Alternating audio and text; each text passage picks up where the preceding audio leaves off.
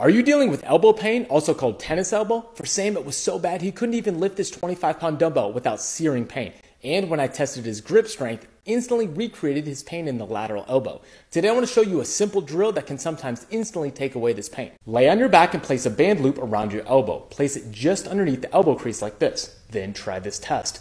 Without much tension on the band, make a fist as hard as you can. If this recreates your elbow pain, then take your opposite hand, pull your arm close to add more tension to the band.